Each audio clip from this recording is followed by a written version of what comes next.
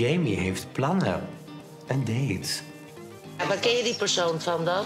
Nee, het is gewoon mijn ex even een, een hapje doen. Heeft die ex ook een naam?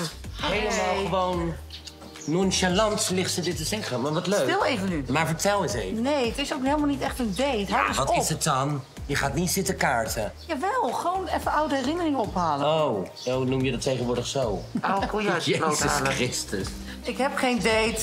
Ze heeft wel een date. Het is gewoon een etentje. Ja, met wie dan? Gewoon met iemand.